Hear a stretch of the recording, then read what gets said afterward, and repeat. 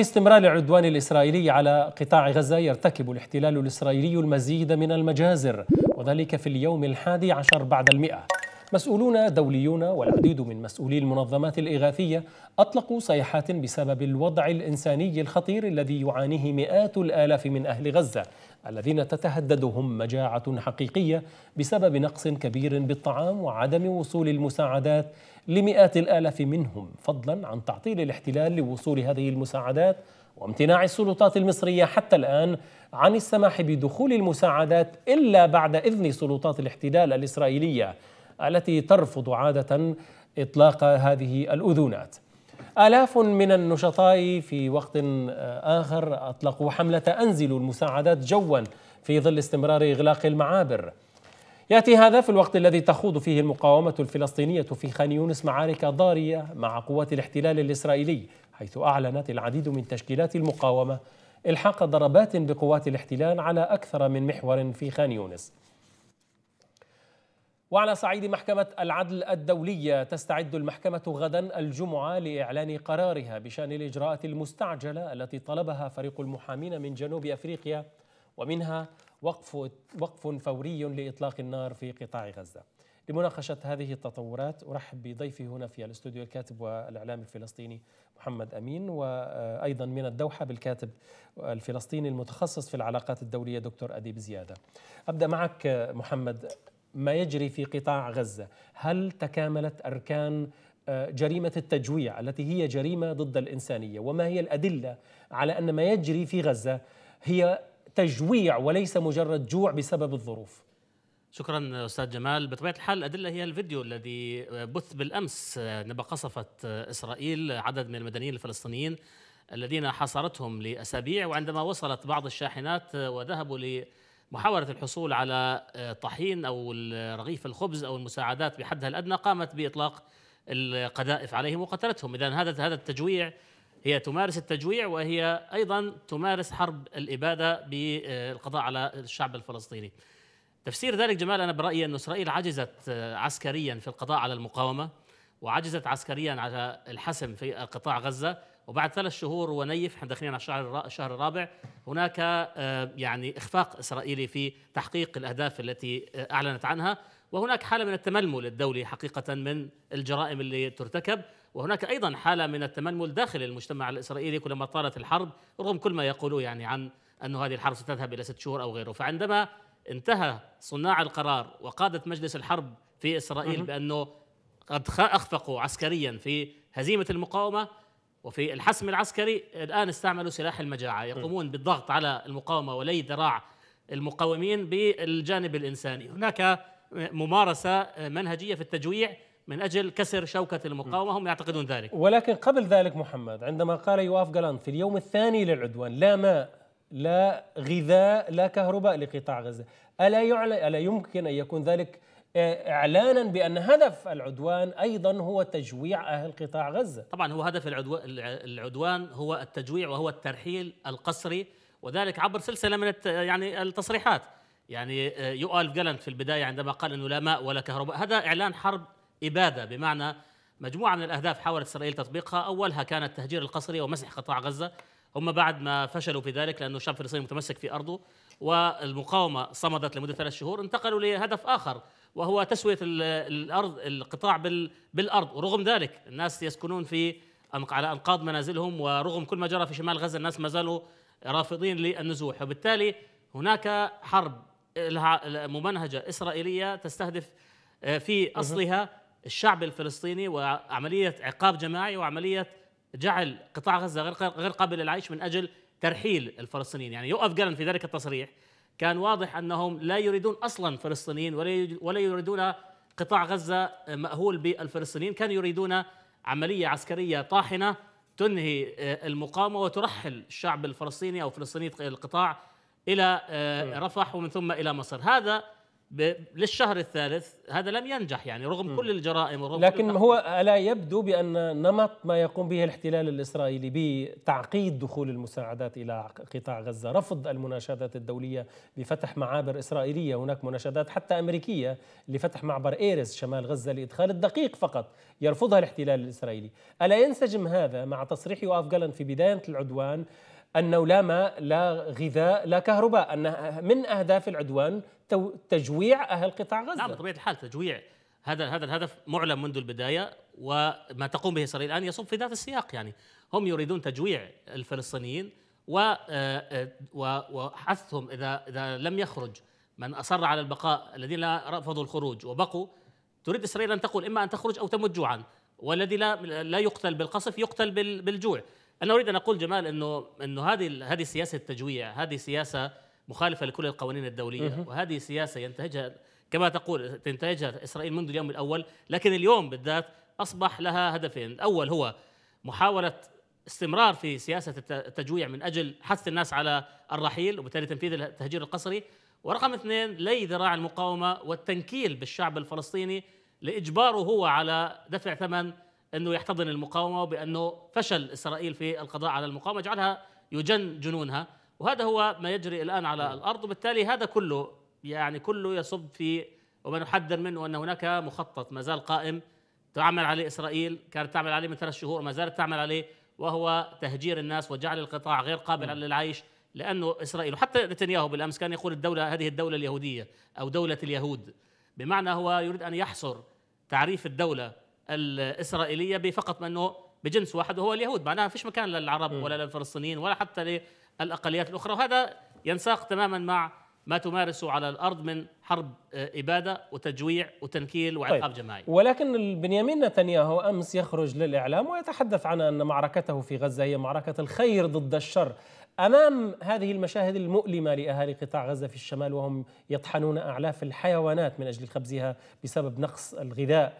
كيف يمكن اخلاقيا وحتى في المعايير الإنسانية تبرير مثل هذه التصريحات التي يطلقها بنيامين نتنياهو ويستمعها العالم أجمع. تصريحات نتنياهو هي ال يعني ال الصحيح فيها هي أو يعني عندما يقول حرب الخير ضد الشر الحقيقة أنه هو هذه حرب الشيطان ضد كل الكرة الأرضية. يعني عندما يقتل 30 ألف من المدنيين و20 ألف تحت الأنقاض وجلهم من الأطفال والنساء وعندما يجوع الناس ويموتون جوعا وعندما يخصف مستشفيات والمدارس وعندما يمارس كل أنواع التطهير العرقي والإثني وحروب الإباء هل هذا هو الخير؟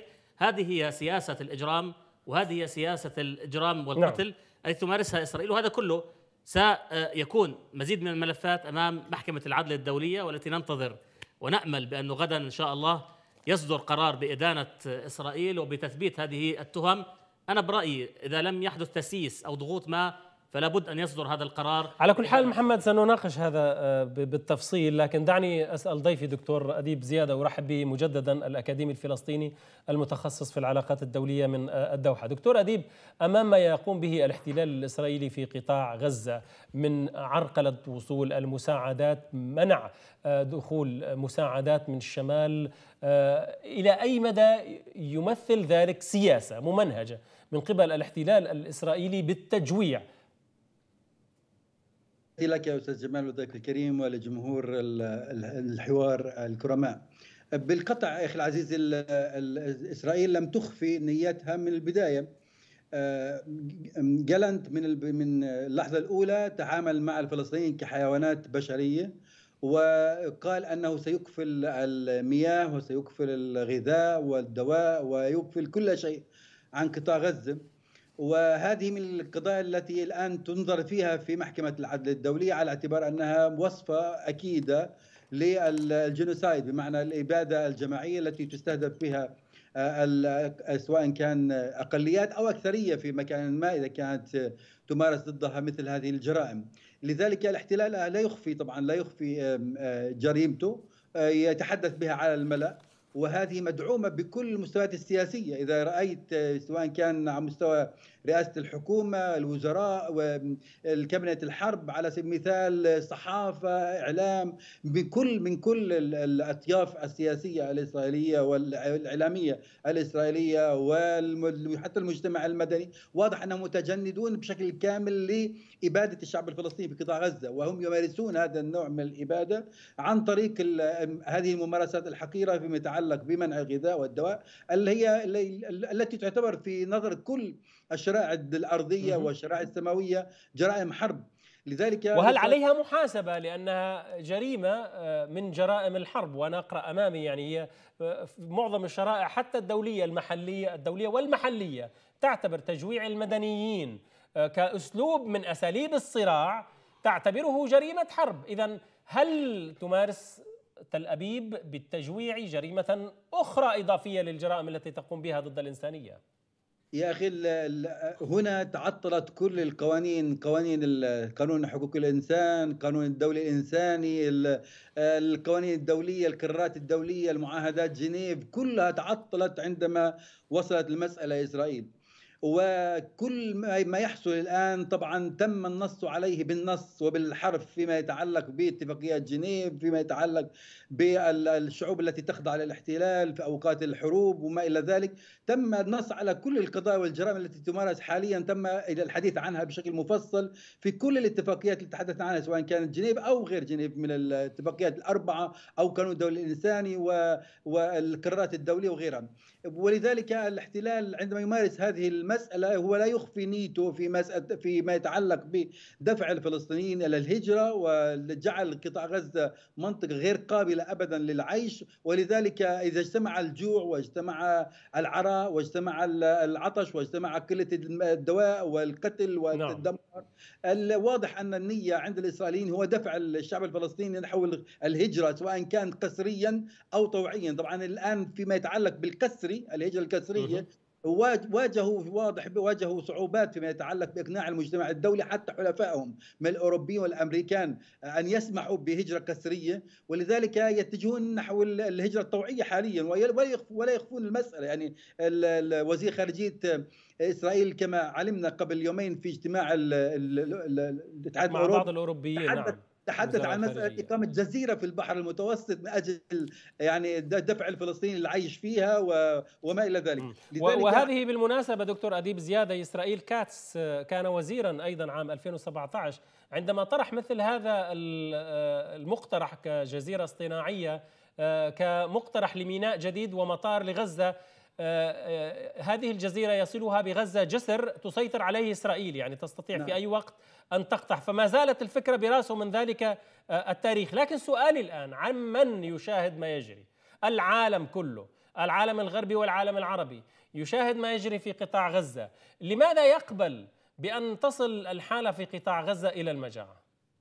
يا أخي العزيز كما قلت لك تتجمد تتجمد القرارات والقوانين القانون الدولي الإنساني وقوانين حقوق الإنسان وقوانين جنيف وما إلى ذلك واتفاق جنيف تتجمد عندما تصل المسألة إلى إسرائيل وأمريكا لأنه إسرائيل ببساطة هي دولة تعامل أنها فوق القانون الدولي بحكم أنها مدعومة امريكيا. يعني أمريكا لا تخفي ابدا أنها مشاركة مشاركة كاملة فيما يحصل في قطاع غزة. ولو أرادت أمريكا أن تغير من الوقائع التي حاصلة الآن في قطاع على الصعيد الإنساني حتى فقط على الصعيد الإنساني لفعلت. لكنها تأبى أن تمارس أي نوع من الضغوطات على الجانب الإسرائيلي على على بحيث يغير من أدائه فيما يتعلق بالأبعاد الإنسانية فقط. لا نتحدث عن وقف إطلاق النار لا نتحدث عن استهداف حركة حماس أو المقاومة بالعكس نتحدث عن مسائل إنسانية بحتة. لو أراد الأمريكان أن يضغطوا على إسرائيل بحيث يقنعوها ويجبروها على مسألة إدخال الوقود إدخال الغذاء والدواء وما إلى ذلك لفعلوا لكنهم مشاركون مشاركة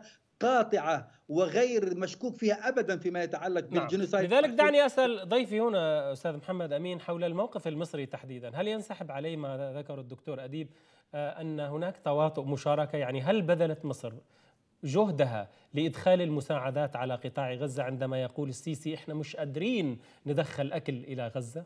طبعا لا. طبعا لم تبذل الجهد والدليل على ذلك إنه يعني حتى إسرائيل في العدل الدولية قالت بأنه المصريين هم المسؤولون عن المعبر. والدليل على ذلك إنه حتى هذه اللحظة لا تدخل المساعدات إلى قطاع غزة، الذي يدخل هو 10 أو 20 شاحنة وكله يدخل بالتنسيق مع إسرائيل، بمعنى إنه لم يكسر الحصار عن قطاع غزة لأنه آه، الجانب المصري ما زال مرتهنا للتنسيق مع إسرائيل ولا يدخل أي شاحنة ولا أي شيء إلا ب آه، يعني الموافقة الإسرائيلية، بمعنى الآن سياسة التجويع عمليا التي تقوم بها إسرائيل والتي تستهدف كما قال الدكتور آه، التهجير القسري أو التهجير الطوعي تشارك فيها بشكل مباشر آه، مصر كما تشارك فيها الولايات المتحدة. لكن السيسي يقول التهجير خط أحمر. التهجير يقول خط أحمر لكنه ما يفعله يعجل من التهجير ولا يمنع التهجير بمعنى عندما يقول أن التهجير خط أحمر فمفروض آه، بالمنطق أن يقوم بممارسات تمنع التهجير هو يقوم بالعكس هو أول شيء. لا يسمح بدخول المساعدات يعني يعمل ضمن الخط الخط والشروط الإسرائيلية. ورقم ثلاثة ما زال حتى هذه اللحظة لا يتعامل مع معبر رفح كمعبر مصري وإنما يعمل مع, يتعامل مع معبر رفح كمعبر إسرائيلي. يعني من يدير معبر رفح هم الإسرائيليون في ظل آه، تنازل المصريين عن السيادة رغم أنه لا يوجد قانون يعني يجبر مصر على يعني الالتزام بمسألة التعامل مع إسرائيل والتنسيق معها لأنه هذا معبر مصري.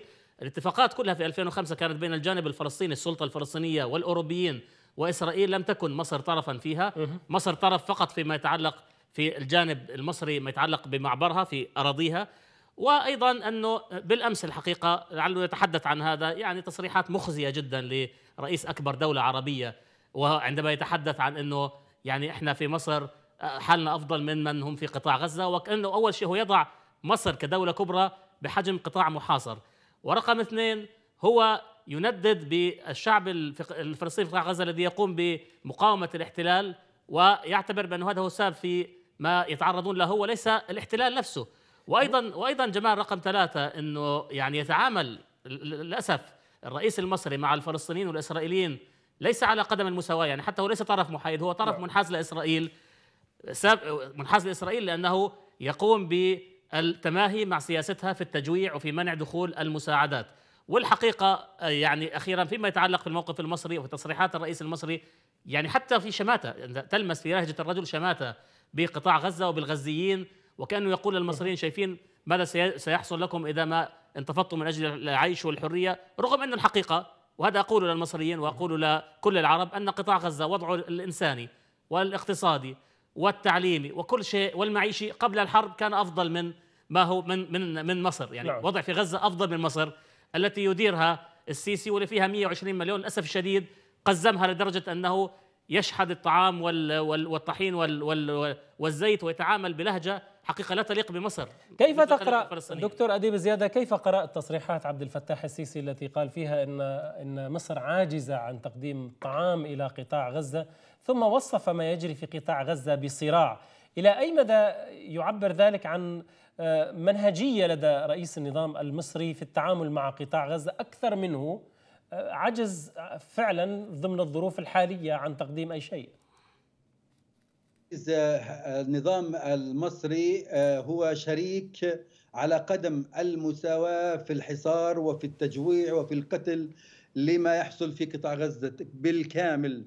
وهذا ليس من الأمس وليس فقط منذ تصريحات السيسي من البداية 7 أكتوبر وحتى هذه اللحظة نحن وجدنا أن سلوك النظام المصري وتصريحات النظام المصري ومواقف النظام المصري والآليات التي يشتغل وفقها فيما يتعلق بإدخال المساعدات وإخراج الجرحى كلها تؤشر إلى شيء واحد لا ثاني له أن النظام نعم. المصري على قدم المساواة فيما يتعلق بقتل وقمع وتجويع وحصار الشعب الفلسطيني. لذلك النظام المصري ليس غريبا عليه بالمرة أنا أعتقد إنه آه، يعني نظام السيسي يرهن نفسه لإسرائيل ويرهن نفسه للإدارة الأمريكية ولذلك هو ليس مستعدا لإزعاج إسرائيل ابدا وليس مستعدا لإزعاج أمريكا علما أنه النظام المصري اخلاقيا وقانونيا وادبيا يفترض أن يكون هو الذي يتولى الدفاع عن قطاع غزة على اعتبار أنه في سنة 67 عندما سقط قطاع غزة في أيدي الصهاينة في حرب عام 67 هو سقط من تحت الإدارة المصرية. يعني آنذاك كان تحت الحكم المصري. بمعنى الجيش المصري الذي هزم وسلم قطاع غزة إلى الصهاينة منذ العام 67 أدبيا وأخلاقيا يتوجب على هذا الجيش أن يعيد قطاع غزة إلى استقلاليته أو إلى إدارته في المرحلة في مرحلة يعني كمرحلة انتقالية إلى أن يتحرر من القبضة الصهيونية من حيث المبدأ. اثنين فيما يتعلق بمساله المعبر رفح معبر رفح كما تفضل الاخ محمد نعم. قبل قليل. تم تأكيد من الطرف الإسرائيلي بأنه هذا معبر مصري مصري مصري. بمعنى أنه هو مصر تتولى مسؤولية الادخال وإخراج من من معبر رفح إلى قطاع غزة. اذا ما الداعي لمسألة استئذان إسرائيل والسير وراء إسرائيل فيما يتعلق 17 سنة أخي العزيز منذ العام 2000 وخمسة منذ عام 2007 منذ حصل الانقسام. وحتى 7 أكتوبر معبر مصر يدار مصريا فلسطينيا ولا دخل الإسرائيليين فيه بتاتا. يعني تم تكريس هذا حتى كأمر واقع عبر من ال 2007 حتى ال 2023 إذا ما الداعي بعد أن بدأت الحرب؟ وفي الحروب السابقة نعم. على كل حال الحروب السابقة كان معبر رفح مفتوح. مفتوح بمعنى آخر أقصد إنه يعني هو مهما استمر على كونه فلسطيني مصري ولم تدخل إسرائيل كطرف فيه، اذا من الذي أدخل الإسرائيليين كطرف فيه حاليا؟ سوى النظام المصري، النظام المصري يا أخي العزيز يتقزم ويقزم نفسه وبالعكس كما قلت هو ليس ليس فقط انه إنه يعني يغض الطرف عما يحصل، هو شريك فيما يحصل، هو شريك في في هالحصار، هو شريك في القتل، ما معنى أن يكون عندنا سيد العزيز 60 أو 65 ألف جريح ولا يخرج منهم سوى أقل من ألف جريح حتى لحظة ما معنى ذلك؟ ما معنى ذلك؟ طيب وابقى معي دكتور أديب وما معنى أن يجوع أهل غزة وجوارهم العربي شبعان جوار غزة الأردن والدول العربية الخليجية السعودية دول الخليجية الدول الغنية الدول الأغنى على سطح الأرض ما معنى أن يجوع أهل غزة والمهرجانات الفنية ما زالت تقام في هذه الأماكن؟ ما معنى أن يقام أمس وأول أمس مهرجان لتكريم الفنانين؟ هل هو هذا وقت تكريم الفنانين؟ كل هذه الدماء ألا تستحق من هؤلاء أن يؤجلوا هذه مهرجانات التطبيل والتزمير حتى ينقضي ما يجري في قطاع غزة؟ هذا يؤكد جمال على ما كان يقول الدكتور. أولا يؤكد على أنه هذا يعني أن الدول العربية مشاركة بشكل مباشر في العدوان على قطاع غزة بعضها بالصمت ومحاولة تغييب الجماهير وبعضها بالمشاركة المباشرة. بمعنى المصريين الجانب المصري النظام المصري مشارك وأنا أكرر ذلك وليحاججني المصريون. النظام المصري مشارك في العدوان على قطاع غزة ومشارك في حرب الإبادة الإسرائيلية وكما قال الدكتور هو أول شيء يستأذن من إسرائيل وينفذ طلبات إسرائيل ولا يوجد أي ما أي شيء يمنعه من إدخال المساعدات سوى أنه يعني لا يريد إزعاج إسرائيل ولا يريد أنه يخرج عن الخط الإسرائيلي الأمريكي. رقم اثنين أنه النظام المصري الذي يقوم بتجويع الشعب الفلسطيني ما الهدف من ذلك؟ الهدف من ذلك إنجاح حرب إسرائيل في إبادة القطاع وفي تهجيره. ورقم ثلاثة أنه الأنظمة العربية الأخرى عندما نأخذ الأنظمة الخليجية بعض الأنظمة الخليجية جمال هو قبل 7 أكتوبر اختار أن يتحالف مع إسرائيل. ما يسمى بالتطبيع هو عبارة عن تحالف مع إسرائيل. فهذه دول متحالفة مع إسرائيل. والدليل على ذلك أن الدول العربية أو بعض الدول العربية تقوم بفك الحصار عن إسرائيل وبتعزيز الصمود الإسرائيلي كما قال بعض الكتاب بين قوسين بمعنى أنه إذا كان هناك أزمة في إسرائيل اقتصادية فتجد تلك الدول تخرج عبر موانئها وعبر حدودها وتوصل المساعدات إلى إسرائيل. إذا وللتنويه وزير التموين الأردني أنكر ذلك. أو أنا أتكلم وماذا عن موانئ دبي وماذا عن الخط الذي قيل أنه يعبر ويمر حتى من الأراضي السعودية؟ هناك آه، تواطؤ وهناك تخاذل وهناك مشاركة واسعة وقيس بين هذه الثلاث مصطلحات. لكن هناك آه، خاصة في محور التطبيع العربي شراكة ودعم وفك للحصار عن إسرائيل وإسناد لإسرائيل وحتى محاولة إقناع إسرائيل بعدم التوقف. هذا فليكن واضحا لأن هذه الحرب ستنتهي اليوم أو غدا. هذا المحور التطبيعي العربي مشارك بشكل مباشر في إسرائيل. والدليل على ذلك ما كنا نتحدث فيه. ما هو التفسير بأنه أنت كنظام عربي لا يوجد بينك وبين الشعب الفلسطيني فاصل سوى معبر تقوم وتصر على إغلاق هذا المعبر وتصر على منع دخول المساعدات وتصر على عدم استقبال الجرحى والأنظمة العربية اللي هو منذ 11 نوفمبر من القمة العربية. حتى اليوم لم تنجح في إدخال زجاجة ماء. لماذا؟ ليس بسبب العجز العربي والعجز الإسلامي لأنه وجدنا أدوار عربية مختلفة في ملفات أخرى وإنما لأن هناك قرار أمريكي بأن هذه الحرب هي حرب أمريكية والتغيير الجغرافيا والمنطقة كلها ستترتب سيترتب عليه استحقاقات وكل واحد بيلعب دوره يعني الدول العربية مش ساكتة هي مشاركة وهم بينفذوا أدوار آه، أستاذ جمال ينفذوا أدوار من شأنها إنجاح هذا العدوان والقضاء واعتقدون القضاء على المقاومة في قطاع غزة والقضاء على حركة حماس هذا سيمهد لمشروع التطبيع الكامل الإسرائيلي نعم. العربي وسيرضي يعني الأم أو الأب الأمريكي وكلهم لديهم قرار من أمريكا. افعلوا آه، ذلك وإلا فإن كراسيكم مهددة. لذلك دكتور أديب أسألك عن شكل العلاقات التي ستكون بين دولة الاحتلال والدول العربية وخاصة هذه الدول التي لديها علاقات مع تل أبيب. إذا كان كل ما يجري في قطاع غزة من مجزرة كبيرة هي الأكبر في تاريخ القضية الفلسطينية. عدد الشهداء هو الأكبر من منذ نكبة 48 حتى الآن. إذا كان كل ذلك لم يدفعهم لوقف العلاقات أو تعليقها أو حتى طرد السفراء فأي شكل للعلاقة ستكون بين هؤلاء ودولة الاحتلال؟ أه، فقط يعني إضافة خفيفة فيما يتعلق بالموقف المصري. يعني نحن رأينا قبل بضع أيام ضياء رشوان يتحدث عن مسألة الحصار الذي يمارس تمارس دولة مصر على على قطاع غزة. يعني يتفاخر الرجل باسم النظام المصري يتحدث باسم النظام المصري. يتحدث عن أنهم أغلقوا 1500 نفق. يتحدث عن أنهم قووا الجدار الخراساني ما بين قطاع غزة ومصر يتحدث عن منطقة بفر زون بين قوسين مسافة تقريبا عمق 5 كيلو متر لمنع نعم. تسلل أو تسريب أو تهريب أي شيء لقطاع غزة تخيل هذا النظام المصري الذي يفاخر أمام العالم أنه يساهم يساهم بشكل باعتراف رسمي يساهم ويشارك الإسرائيليين في قطاع في حصار قطاع غزة يمنع عنهم حتى مش فقط السلاح يمنع عنهم كل شيء.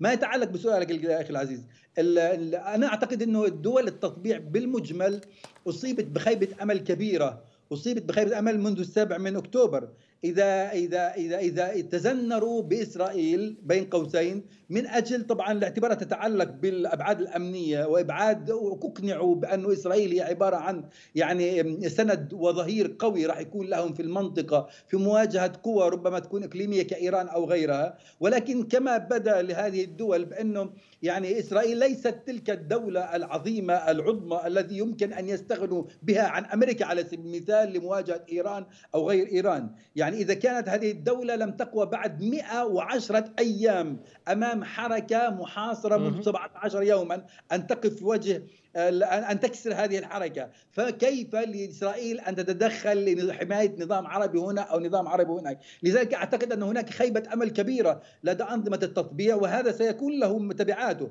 لكن الآن فيما يتعلق بالعلاقة مع إسرائيل من زاوية إنه هذه عبارة عن قربة لأمريكا وقربة للقلب الأمريكي ولصانع القرار الأمريكي أعتقد هذه ستبقى إلى أن يكون هناك تغيرات فيما يتعلق بالاقليم نفسه.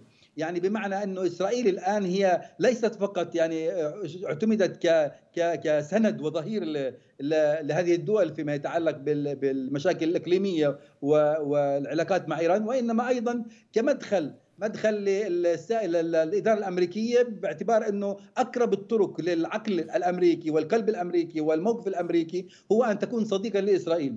أعتقد هذه إسرائيل إذا كان إذا كان حصل في المستقبل أنه طبعا متوقع تماما إنه خلال الفترة القادمة ستغوص إسرائيل في في وحل قطاع غزة أكثر فأكثر وستتكبد خسائر أكثر فأكثر وستجبر في لحظة ما على الانكسار قطعا لأنه حتى لو سيطرت بالكامل على قطاع غزة لن تقوى على الاستمرار في في احتلال قطاع غزة، لذلك أعتقد أنه سيكون لهذه انعكاسات فيما يتعلق نعم. بقناعة العرب وقناعه قناعه الدول المطبعة مع إسرائيل بأنه ليست تلك الدولة التي بالإمكان الاستناد إليها وأن تكون ظهيرا للموقف العربي.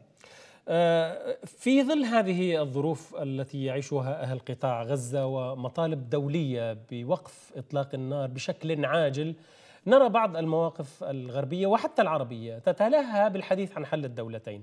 ما تقديرك يعني للبحث في مثل هذا الحل السياسي في ظل استمرار مجزرة ومقتلة على مرأى من العالم أجمع؟